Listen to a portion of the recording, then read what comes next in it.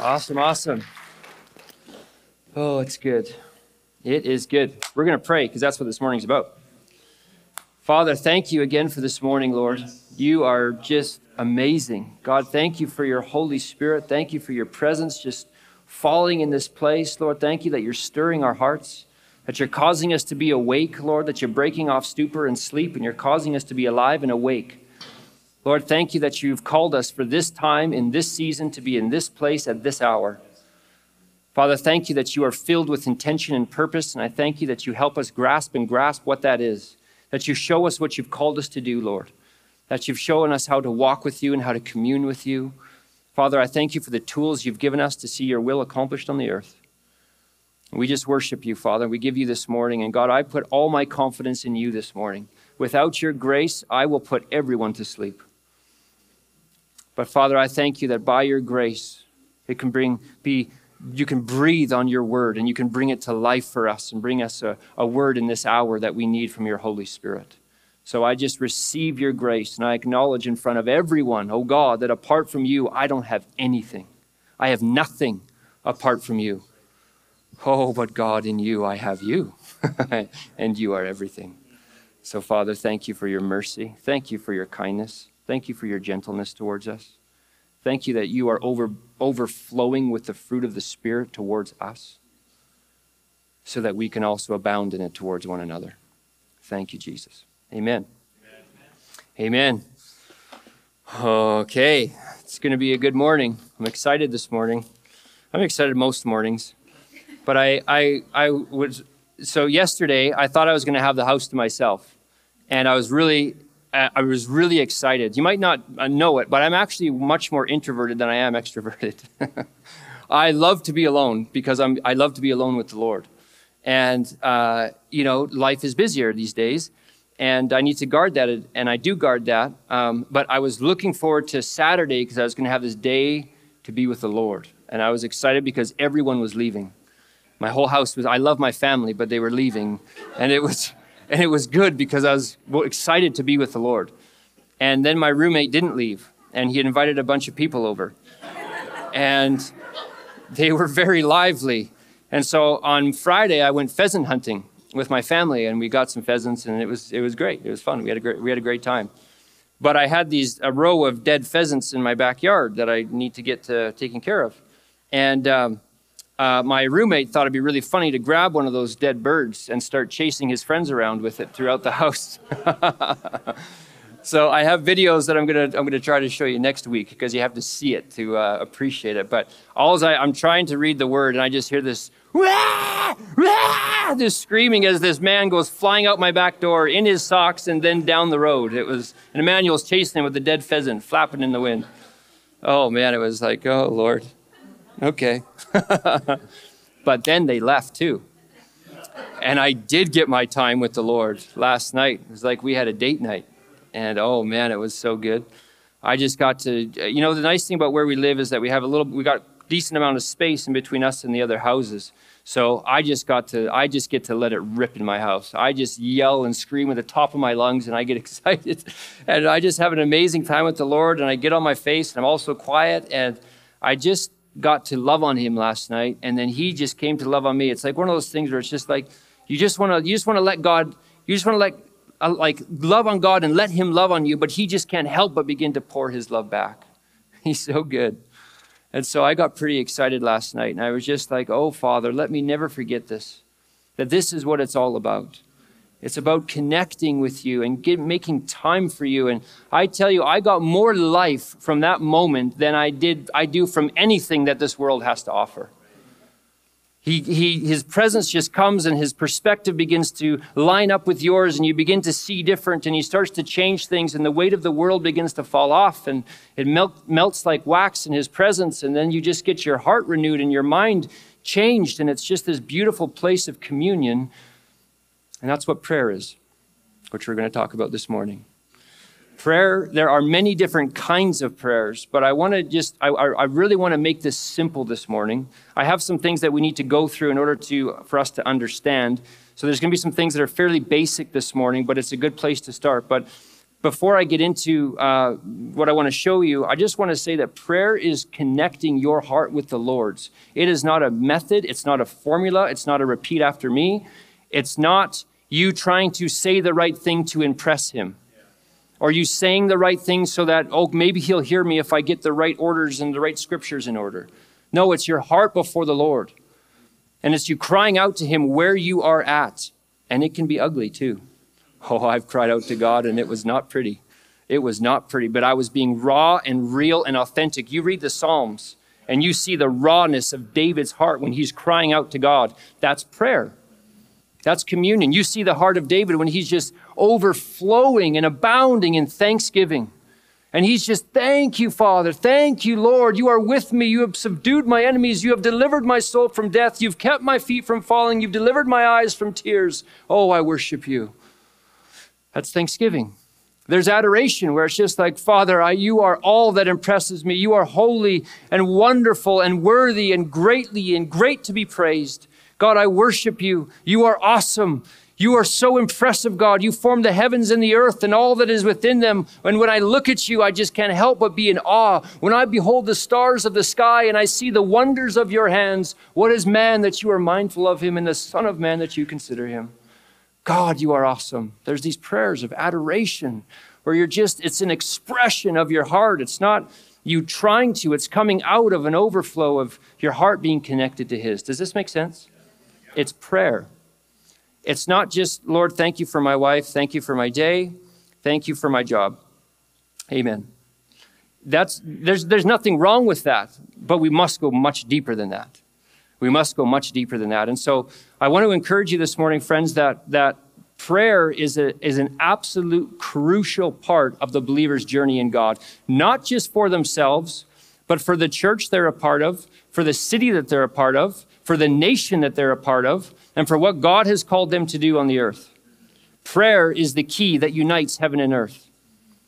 And so I'm going to go through some of that this morning and show you just how important it is. But we have to lay a couple things down in our understanding first. And so I'm going to see if this thing, yeah, there we go. So I'll just wait a minute for that to come on. But biblically, we see, we see prayers for everything. There's not really anything in, in, the, in throughout the Word of God that we don't see prayers for. And so, uh, oh, there it is. There we go. So, in the Word, we see prayers for nations and cities. We see prayer that are in regards to nature, storms, droughts, earthquakes, volcanoes. We see personal prayer, prayer for family, church, business, politics, society. Yes, everything. We bring everything before the Lord where there's, there's prayers of intercession, where we're lifting up nations and we're lifting up churches, where we're lifting up individuals and we're contending and we're fighting and we're declaring things over their life. I do it with my family all the time. I do it for this church. I do it for myself. I'm like, Father, I pray I pray, Lord, for my son that you would fill his heart with faith. God, I'm fighting for his belief system, Lord. I pray that your light would come upon him, that you would cast out any darkness, that you would renew a right spirit within him. God, I pray that you would give him clean hands and a pure heart. Father, I pray that he would walk in the purpose for which you created him, that he would know you and that he would love you with all of his heart and all of his soul and all of his mind and all of his strength. Oh God, that he might know you and serve you all the days of his life. I pray for my son. I contend for him. And I contend for you. These are the prayers of intercession. These are prayers that God wants us to pray where we come before him. And there's been times where I've been feeling weak and I've been feeling like, God, I feel like what I'm seeing with my eyes is beginning to impact what I believe with my heart, and I need your help. God, would you form faith in me? Faith is a fruit of your spirit, and I need your faith, not faith, not my mustered up faith, but your faith. For, so, for this situation, would you give me faith, Lord, so I can pray according to your will by your Spirit and with absolute confidence? He'll do it. Oh, He will. So, why is prayer so important? I'm going to show you a few verses where you might be thinking, okay, you just asked, why is prayer important? And now you're reading these scriptures. I don't understand. I will explain. But this is very important for us to have a, a, a foundational understanding of why prayer is so important. This is the first verse I'll show you.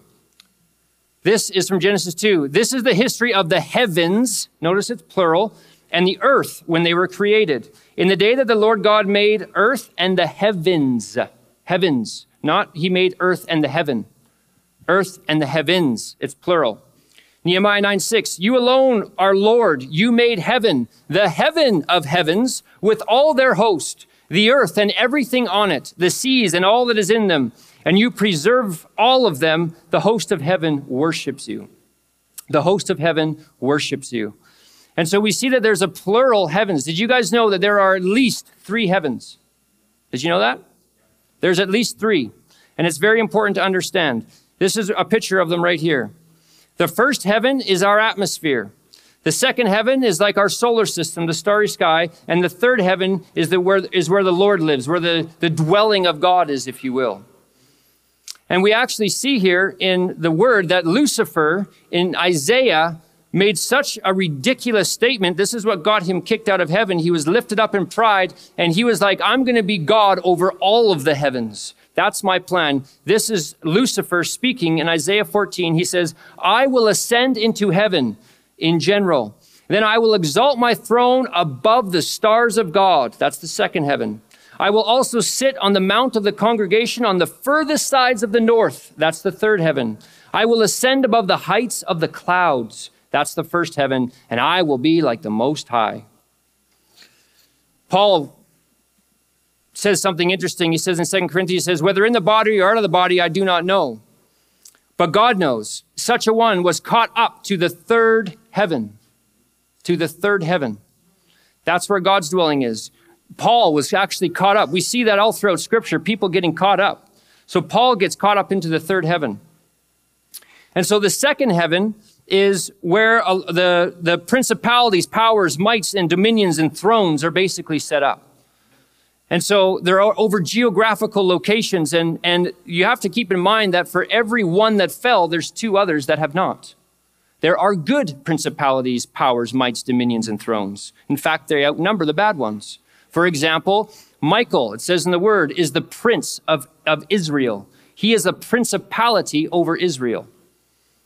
It's important to know. There are other principalities that are obviously very bad, and they're uh, over geographical locations because they have permission to be there. Why do they have permission to be there? That's what we're going to get into a little bit. So God says something interesting here. It says, Then God said, Let us make man in our image. You've heard this verse many times. According to our likeness, let them have dominion, which is to reign and be ruler over the fish of the sea, over the birds of the air, over the cattle, over all the earth and over every creeping thing that creeps on the earth. Dominion. And then the next verse in Psalm 115, 16, the heaven, even the heavens are the Lord's, but the earth he has given to the children of men. Wow. Interesting. So the earth actually belongs to us. God has given us the earth, and it's something that we're called to steward, not just physically, but also spiritually. And so, because God has given us these things, and He says, I have given you dominion over the earth. Just like there are natural laws, there are also spiritual laws, and God will not violate them. And so, God has given the earth to us, and He looks for someone who will stand in the gap to intercede and say, Hey, Father, I'm crying out to you. I see injustice over here. Would you stretch out your hand and do something because this is wrong? God, would you give us justice? And you begin to partner with Him, which enables Him to act upon the earth. Because it's your responsibility to do that. Because you've been given the earth and you are to have dominion over it. And the best way to have dominion over it is by asking God to come and do it through you. That's why we're the body of Christ, the embodiment of Christ.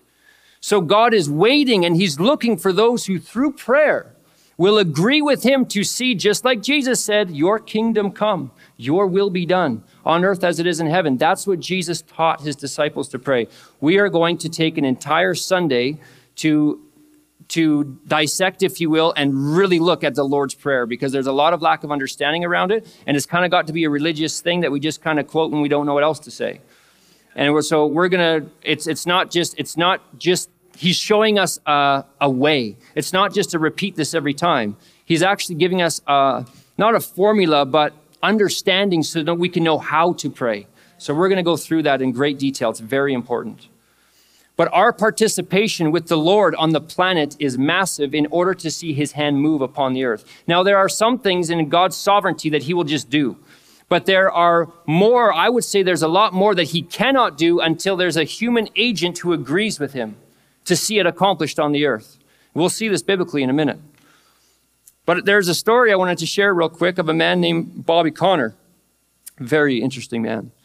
And uh, he was down in the, was, he lives in the States, and he was down in Tennessee, which is in the kind of the southwestern or southeastern, sorry, part of America many years ago. I think it was in the late 90s or early thousands. And he was, he's an itinerant minister and he was driving somewhere. And at the time in, in the northwestern part of the states, in Montana, California, and, and somewhere else, there were at least 98 wildfires burning. And they were spending $1.4 million a day trying to get these wildfires under control.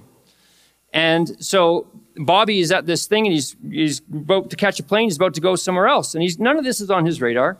He knows about it, of course, because it was making a lot of headlines. There's, the fires were incredibly devastating. And he's going to get on a plane, and the Lord spoke to him, and he said, Bobby, there's fires burning in the Northwest. What are you going to do about it? And he said, What? He goes, I didn't know I was responsible. and the Lord said, If not you, then who?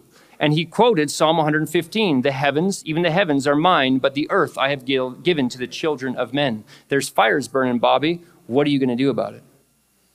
That's your problem. You're supposed to represent me on the earth, and I'm waiting to act, but I need you to come into agreement with me because of the spiritual law that I've given you the earth. And I'm looking for an intercessor, someone who will stand in the gap. And so, Bobby, the Lord has spoken to him now. He has plans, he has a life, he has somewhere he's supposed to be. But God has spoken. You drop everything when he speaks. And so he said, Father, what do you want me to do? Because he didn't know what to do. So he's a wise man. He asked the Lord, What do I do, Lord?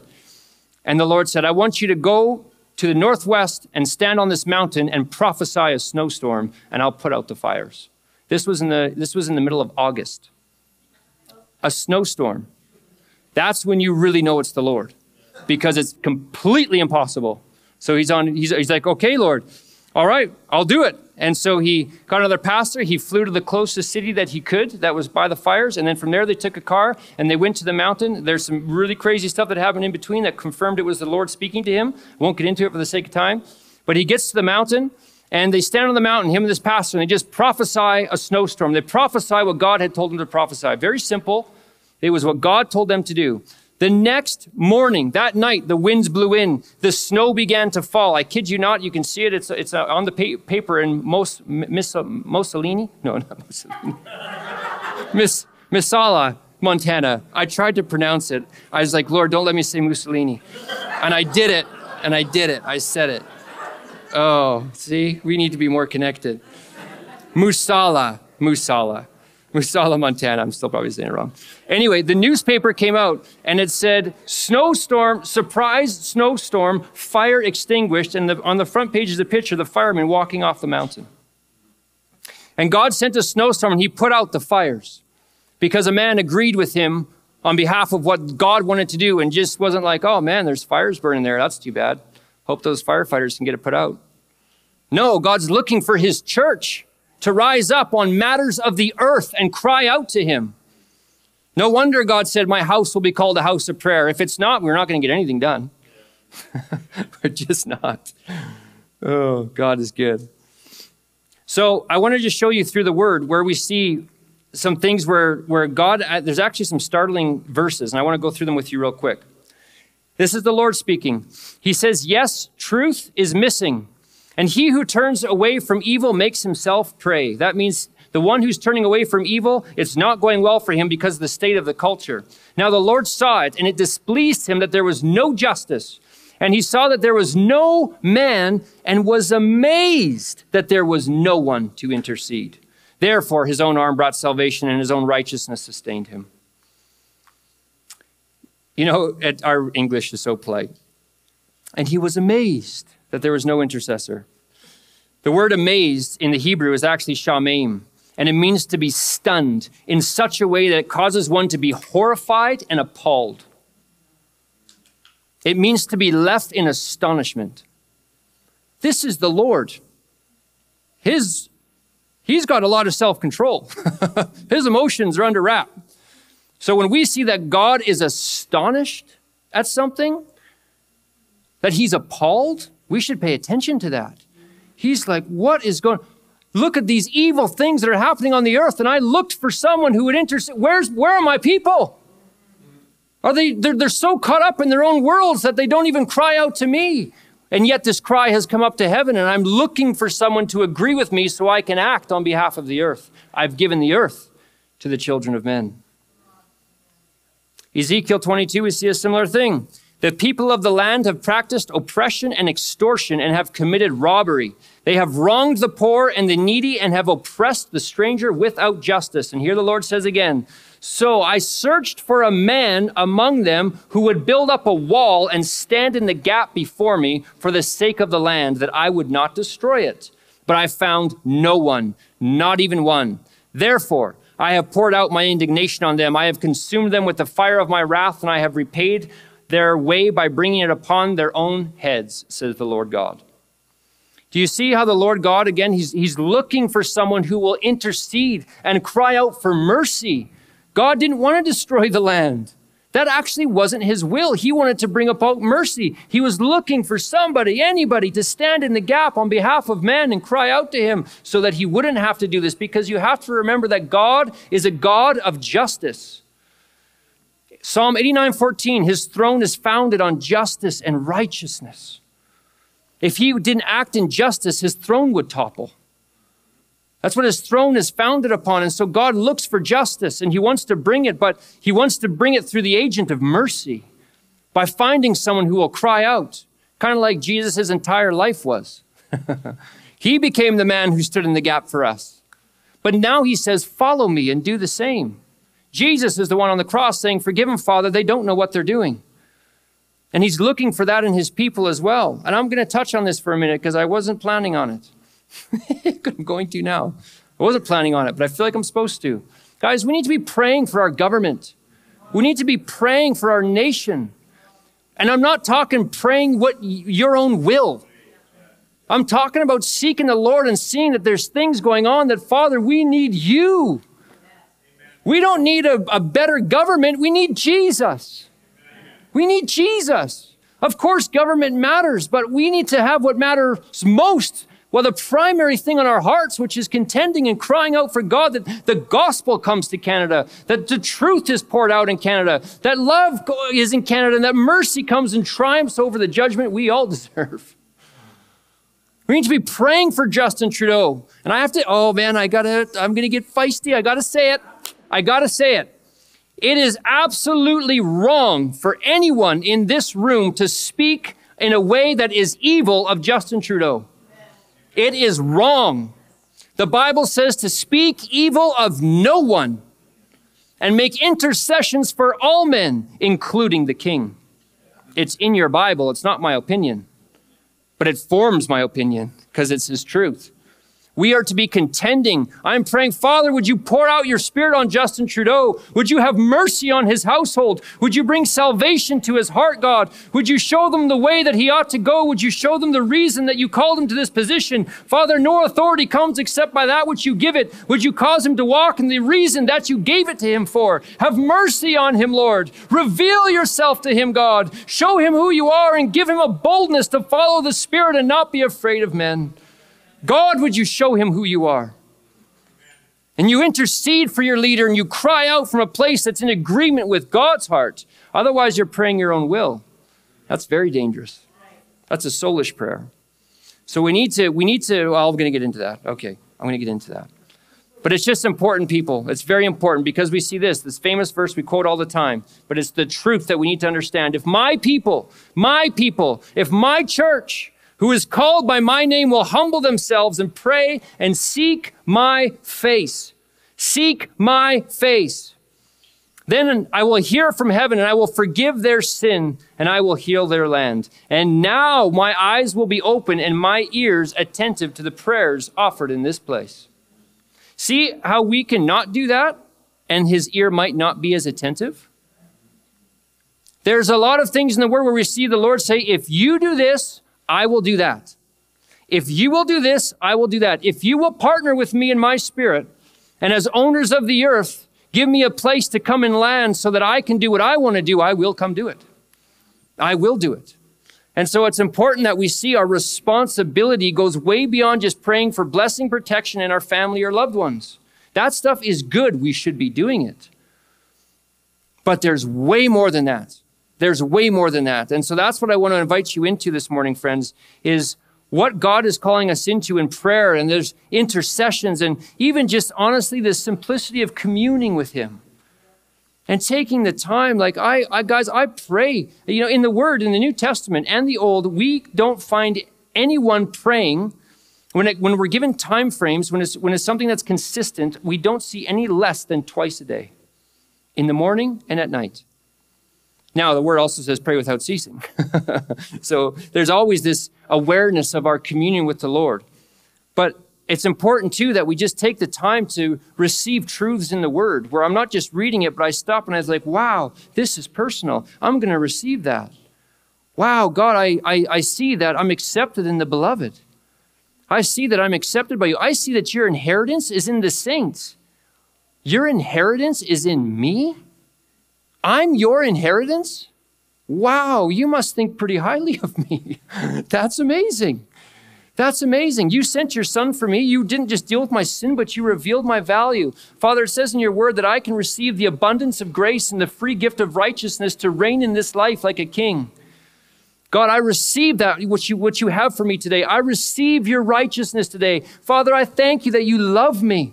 And I receive the grace that you are giving me today to walk in all that you've called me to do, that I lack no good thing, as it's your good pleasure to give me your kingdom. I thank you that I'm in you. I thank you that you reveal yourself to me more. I thank you that you give me the spirit of wisdom and revelation and the knowledge of you. I thank you that you reveal yourself to me and you continually show me who I am in you and who you are in me. God, I worship you. You're amazing. I love you. You're so filled with mercy and grace. I want to be like you. Show me how. Father, would you show me how? There's other times where I'm just going, I was like, well, God, today was a little crazy, hey? today was a crazy day, Lord. That thing that happened there kind of stressed me out. I think we need to talk about it. Can I talk to you about it? And I talk to him about it. And he and I speak with him like I would my wife or a friend. And it's prayer and it's communion and it's my heart before the Lord. See how it's all of these things? It's this communion with the Lord. So, what I want to go through very quickly is what prayer is not. And there's just three points. But this is what prayer is not. We got to keep our hearts safe from this. Prayer is not begging God to do something that he does not want to do. That's not prayer. James 4 says, You ask and you do not receive because you ask amiss that you may spend it on your pleasures. Again, we're getting back to the motive, right? We're getting back to the motive. Why are, why are we praying? What, what is the motive of our heart before the Lord? Do I want to treat him like a genie in a bottle where he just gives me what I want or Santa Claus and I get my list and God, would you do this for me? And when you do, great, thanks, and I go on with my life? No, it's way more than that. He's not a genie in a bottle. He's our Father. He's the maker of heaven and earth. We miss the mark when we ask from our point of view and don't take the time to know God's point of view and will for what we are praying for. So we need to do that, friends. You know, the word says in Colossians that you would be filled with the knowledge of his will and all wisdom and spiritual understanding. God wants you filled with the knowledge of his will. It says in Ephesians 5 that we would not be unwise, but wise and understand the will of the Lord. And that's really encouraging because James 1 says, if any of you lacks wisdom, let him ask of God. He'll give it to you. You want to know his will? Ask for wisdom. Ask him to fill you with the knowledge of his will. He wants you to know. And so before I pray, I, am very careful, guys. We cannot just pray our own opinions or our own will. We got to be careful. We need to yield those things to the Lord. And we need to be praying and asking God, Lord, would you reveal your will to me so I can come into agreement with what you're doing? And I can pray in alignment with you. And that is where we'll see so much prayer answered. Oh, man. It's his delight then. Second thing prayer is not. Prayer is not asking God to do something just once. That's not what prayer is. Sometimes it might just take once, but it's that's not the concept. In Matthew 7 7, it says, Ask and it will be given to you, seek and you will find, knock and the door will be open to you. What's interesting is in the Greek, the idea here is actually that of a battering ram, where you're constantly knocking at the door. It's almost like it, it's almost like it would be saying, Ask and keep on asking, seek and keep on seeking, knock and keep on knocking. There's a consistency, and we see this as a, as a truth throughout the word. We see Matthew 18, where Jesus gives the parable of the widow who comes before the unrighteous judge and asks again and again and again. And it said that judge didn't fear God nor regard man. But because of her persistence, he said, Lest she weary me to death, I'll do what she's saying. And the Lord says, That's an unjust judge who does not fear God nor regard man. And yet they answered that one because of their persistence how much more will our gracious and kind and loving and good Heavenly Father ask when we keep on knocking and keep on seeking and keep on requesting and we don't give up? There are people I have been praying for for 17 years for their salvation, and they seem farther now than they were when I started praying. And what does that have to do with truth or my consistent persistence? I will keep praying and I will keep lifting them up, and by my God, they will get saved. They will. I am not letting time affect my heart or my faith. I'm going before the Lord and I know it's His will. It says in the Word that His will is that not one should perish. Did you know that the will of God is not being accomplished on the earth all the time? Did you know that? It's not. If it was, all would be saved. Right? There's people dying, there's disease, there's famine, there's pestilence, there's people that are going to hell. And God doesn't want that. And so it's not, His will is not always happening. Life and death are in the power of your tongue, by the way. Isn't that intense? I don't think we understand the authority that God's given us and the way that He's called us to steward our walk with Him as He's given us this earth and everything that's on it. We need to steward that. We need to fear Him in it, and we need to grow in our understanding of it. Because, friends, the exciting thing is we have so much authority when we partner with God and His will. We have so much. And so there are people that, that God is desiring that, again, not one be lost. And so he's looking, he's looking for an intercessor. Who will pray for this person? Who will bring the gospel to this person? Who will lift up this person? But when we get so caught up in our own little lives and we forget why we're here, we leave God in a place where he wonders that there's no intercessor. He wonders where his people are. And it's important because we don't understand what's at stake here, guys. We don't, people's eternal salvation, where they're going to be forever, is at stake. What God wants to do on the earth. He wants His will to be fulfilled. He wants to touch Canada. Oh, He wants to come through. He does. He wants the gospel to come and the glory to spread from sea to shining sea. But will He find His people who agree with Him and continue to agree with Him? So please don't hear me wrong. This isn't some heavy handed thing I'm trying to say. I'm just trying to, I'm, I'm, passionate because I'm trying to express how much it matters. It matters so much that we understand this and we see beyond ourselves and, yes, our own families. We need to see the greater thing that God wants to do, where He wants to bring His kingdom to the earth. He wants to bring it to Canada. He wants to bring it to Calgary. Oh, He does. Last thing Prayer is not to be thought of as wearing God down in an effort to get him to act. That's not what we're trying to do. That's what the widow was doing with the unjust judge. She's just trying to wear him down. I'm going to keep coming, wear him down, wear him down, wear him down. This is different. This is no, Lord, I'm just going to come and commune my heart with you. And I know that you hear me, and I'll keep coming again and again and again. Jesus prayed for a blind man twice. That's Jesus. The first time he prayed, he saw men walking like trees. The second time he prayed, he could totally see. That's Jesus. We might have to pray a couple times. Matthew 6, 7. And when you pray, this is Jesus, do not use vain repetitions as the heathens do, for they think they will be heard because of their many words.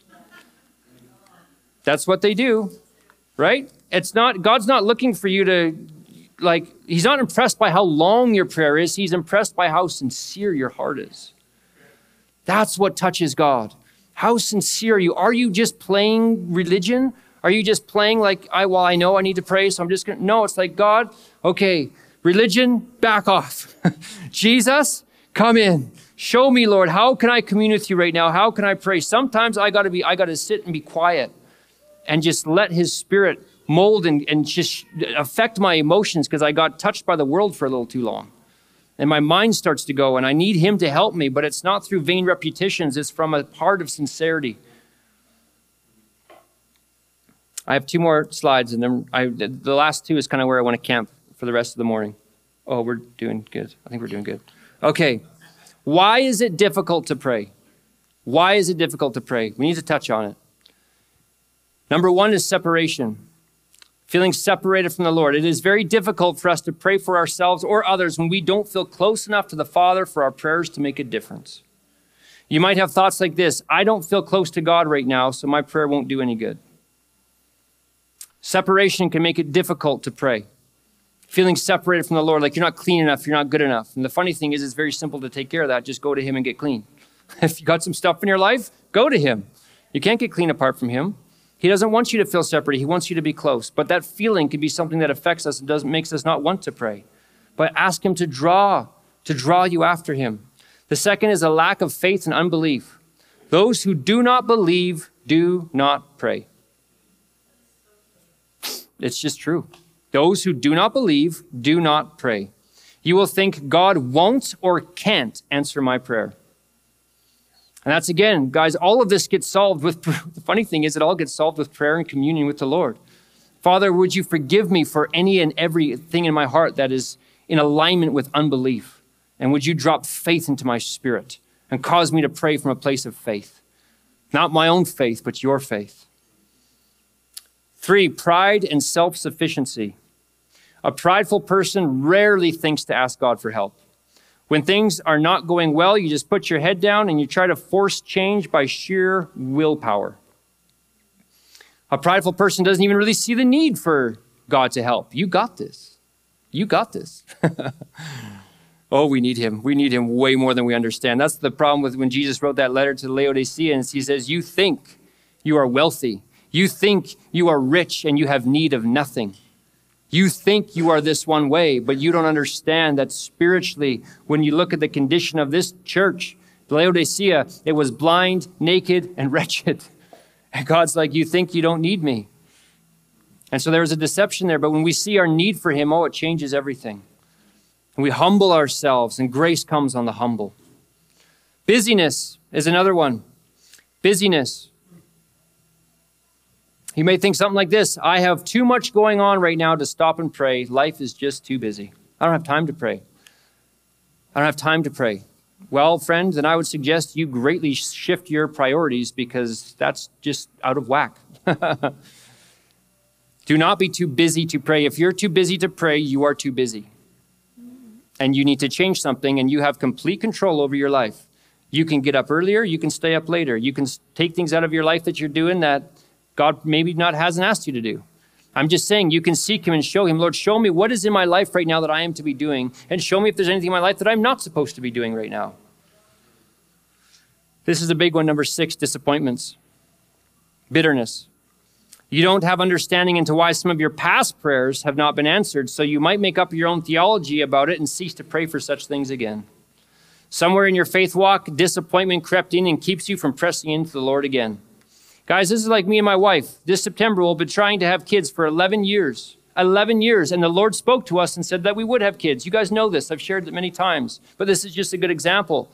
I am not letting disappointment in that not happening to creep into my walk with God because He matters more than anything to me. He matters more than all the children He could ever give me. My relationship with Him is what matters more. I love Him more. And so, why would I let something that is on the earth affect my walk with Him? No, I'm not going to get disappointed. I love Him more. And so, yes, Lord, I am absolutely believing that you have children for us. You have more children for us. And I love you, Lord. It's so kind of you that you would speak that to me. And the journey has been long, but I refuse to give in to disobedience and bitterness and unbelief. I choose to stand and believe by my God we'll still see children. And I am not discouraged and I'm not disappointed. And even if they never came, I'll go to the grave saying, Blessed be the name of the Lord. But I will die believing. Stubbornness can be good, yielded by His Spirit. But I'm just saying, friends, disappointment and bitterness is real. There's some things that we've contended for and all prayed for, but don't let that become what influences your belief system. Let faith in the Word of God influence the, your belief system and don't grow weary in the well doing. You know, Jesus said, when he, but right before he gave the parable of the widow, he said, and Jesus said a parable to them that they always ought to pray and not lose heart. Have you guys struggled losing heart? Has that been hard? I know it's been hard. It's been a hard couple of years. But Jesus equates prayer to not losing heart. That we're communing with Him, we're bringing our life and our heart to Him, and from that place we can live where we don't lose heart. It's prayer, it's communion with the Lord, and it's a dialogue, not a monologue. Seven, not knowing what or how to pray. This is one of the other things that hinders us from praying or, or, finding it difficult to pray. You might think, I don't know how or what to pray, so I'll let someone else do it. Or I don't feel qualified to pray. Or other people's prayers seem more spiritual than mine, so I'm embarrassed to pray my simple prayer. You guys ever think that? You guys ever been with somebody that's like, man, that they know how to pray? Oh gosh, like that was just like, oh, that was a good prayer. I don't have uh, one like that. I don't have a prayer that fancy. Mine's pretty simple. I think I'll be quiet. It's like, no, no, God wants to hear your simple prayer. And that simple prayer might do way more than the person's fancy prayer. God's looking at the heart. It's like the, when he saw the Pharisee that was giving, let's say, thousands of dollars into the offering. And then there's the poor woman comes and she gives two pennies. And he's so moved by the woman who gave two pennies because she gave out of her lack and out of that was all that she had and yet it was just two pennies and the pharisee gave out of his abundance and thousands of dollars and god could care less about the thousands of dollars because the heart it came from he was so impressed with the two pennies because it was her whole heart before the lord. I give you everything god. That impressed the lord. And it's a similar principle we see in prayer. It's authentic and it's simple and it matters. Your prayers matter, all of them, all of them, and you are qualified to pray. It's kind of like, you know, it's a funny thing what it talks about in the word about the, the husband and the wife, and it's like the Jesus and the bride of Christ and all of these things. It'd be kind of like me saying, I don't feel qualified to talk to my wife. Isn't that a weird, weird, weird thought? That's how it can be when we think about not feeling qualified to pray. You don't feel qualified to talk to the Lord? You're so qualified. You're so qualified. Last one, I'm going to end on this, guys. How can we make prayer easier? How can we make prayer easier? Number one, you listened to Jocelyn's sermon last Sunday. That's one way to make prayer easier. You get into worship and praise, you fill your heart and your mind with the Word of God, and you spend time in thanksgiving, praise, and worship. You know, it says we enter into His gates with thanksgiving. These aren't metaphors, guys. This is real. We enter into his gates with thanksgiving. We just get through the door, thanksgiving. And then we get a little deeper into the courts through what? Praise. Praise. Enter into his gates with thanksgiving, his courts with praise. When you get alone, when you're in your vehicle, pray and begin to thank the Lord. Begin to just offer up thanks to him. It could start off in the simplest of things, but you thank him. And then you begin to praise him and worship him and just fix your eyes on him. Play a song that really connects your heart in this season. Find something and connect with Him and get God's perspective and fill your heart with truth. The other one is pray in the Spirit. Pray in the Spirit. Pray in tongues. There's been times where I haven't known what to pray. And so I'll just spend time just praying in tongues by myself. And then uh, so like understanding eventually just comes. And it's beautiful. So pray in the Spirit. Number three, ask what would God give, what would give God the most glory in this situation? If you don't know what to pray, just think about it and say, Holy Spirit, help me. What would give God the most glory in this situation and pray accordingly? Helps us. Four, practice and consistency. It's like anything else. The more you do it, the more comfortable you'll get with it, the better at it you will get. Continually pray. It's like Romans 12 12. Be joyful in hope, faithful in prayer. Now, what is it, honey? Joyful in hope, patient in affliction. Oh, yeah, do that too. And joyful in prayer or consistent in prayer. Yeah, sorry, I botched that one a little bit, guys. but it's just saying be faithful in prayer, continually praying. That we would have lifestyles. Prayer is like a lifestyle. It goes into your lifestyle, guys. We need to be praying and a people of prayer. And the last is repentance. When we have confidence we are clean before God, we will pray. We will pray. And so First John says that if we sin, we have, a, we have an advocate with the Father who is Jesus Christ the righteous, who is faithful and just to cleanse us from all unrighteousness. All unrighteousness. So you get with God and you just spend time, just Father, would you forgive me if, you, if there's something in your heart or your conscience isn't clean? Bring it to the Lord and get clean. And then you're praying with confidence because you're close to Him and that separation is gone. So we need to be a praying people. I'm going to close with that, guys. We need to be we need to be a praying people. And I want to encourage you that it is simple and it's powerful, and the Lord is listening to your cry. He is listening to your prayers.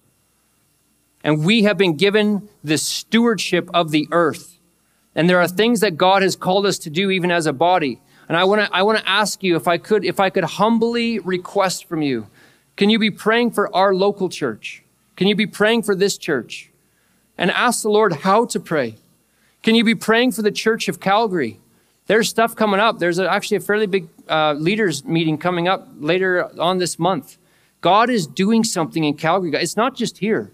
God is doing something in Calgary. And it's a beautiful thing. And I wonder if we would, what it would look like to partner with Him and pray and not just be so consumed with our own lives that we miss the kingdom and what God wants to do through us. And yes, through your simple prayer. Your simple prayer. You have no idea. It says in, in James that Elijah was a man just like you and me. He had a nature like ours, and yet he earnestly prayed that it would not rain, and it did not rain for three and a half years. And then he prayed earnestly again that it would rain, and the rain did come.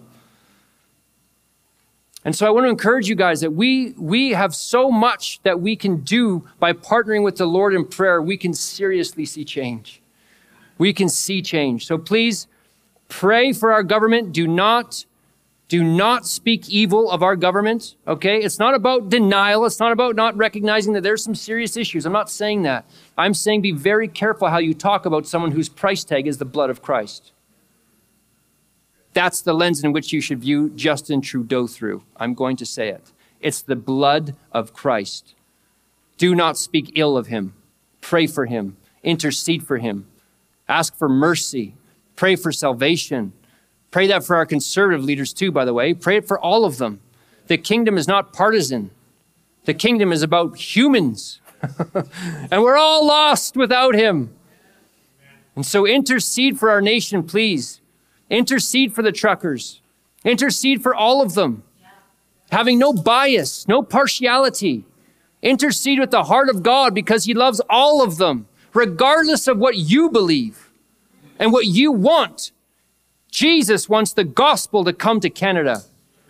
Could you pray that? Yeah? Could you pray that? Because you have authority to pray that. And God so wants to stoop low to hear your cry and to stretch out his hand to answer your prayer. Yes, he does. You are a child of the living God. You have just as much influence as anyone else that's in the kingdom. And imagine what would it look like if we as a people were to truly become a house of prayer? Oh, think about how just it would be of God to come and act on our behalf because he found a house full of people who pray. Wouldn't that be amazing?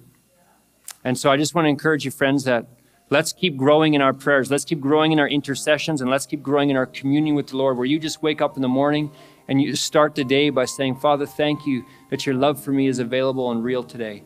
And whether I can feel it or see it doesn't matter. I know you loved me. You already showed me through the cross. And I receive the abundance of grace you have for me today to walk in what you've called me to do today. Thanks for your love. Thanks for your joy. No matter what I face today, I'm not facing it alone because the Lord my God is with me. So it's not a bad day, it's a day full of grace. Cool. All right, my friends. Next week, I would encourage you to be here because we are going to go through the Lord's Prayer. And, you know, it's funny, I was praying and I was asking the Lord uh, what to do leading up to this. And I had a, something very different I wanted to share. And the Lord really put prayer in my heart. And I think it's a very timely word because of also just all the stuff we see got, we got going on. But um, it's prayer is so important. So next week we're gonna we're gonna dive into the Lord's prayer, and you might hear some stuff you haven't heard before. But it's it's it's what Jesus gave us in that prayer is crucial for us to understand. And so we're going to really dive into that, and it's going to be good. It's going to be good. Okay, so Father, we just thank you so much, Lord, for everyone here. Lord, we thank you that you said that you would teach us how to pray. And Father, we humble ourselves before you, and we confess that we don't know how to pray. But by your Spirit, you will teach us. And so, Father, I pray that you would bless each and every one in this room. I pray that there would not be, um, that's one of the things that, that, that, that often comes in prayer sometimes. We get sleepy, we get tired, and we just get bleh. That's a spiritual thing we need to be aware of. Father, would you help us to be aware of the enemy that comes in very subtle ways? Very subtle ways. Would you help us to be awake in the Spirit? That when we go to pray, Lord, we, we would not let the things of the world distract us. God, I pray that you would cause us to learn how to just commune with you and how to bare our hearts before you, how to be real and authentic with you, and how to just reveal our heart before you, Lord, and invite you into our process and into our pain and into our joy. That we'd invite you into everything. So, Father, I just pray your blessing over everyone today. I thank you that you teach us how to pray. Lord, that you put prayers on our hearts for our city, for our nation, for our church, for our family, for our friends, and yes, for ourselves. Jesus, I thank you that you show us how to do these things and more. Lord, we call on your name and we thank you that you are all that is awesome. Father, I pray a blessing over all your people today. Lord, that they would look nothing like the world and everything like you. God, I pray that they would be filled with your spirit. I pray that they be abounding in love and joy and the fruit of your spirit as they abide in you, and that they would indeed abide in you.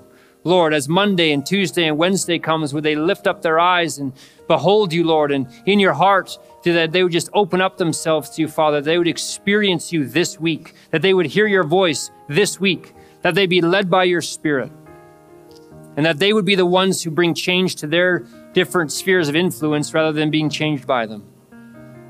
And so, Father, thank you that you have anointed them to do all that you've called them to do as they go out into the world.